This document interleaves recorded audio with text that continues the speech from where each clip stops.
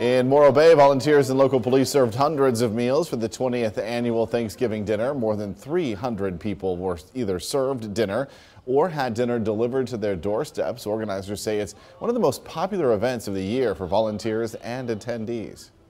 It's a great way to have a party, to be thankful, and you know, every day is Thanksgiving Day in Morro Bay. For anyone who was not able to make it to the dinner, uh, Tassel says volunteers served a community dinner every Monday from 5 to 6 p.m. at the Veterans Hall.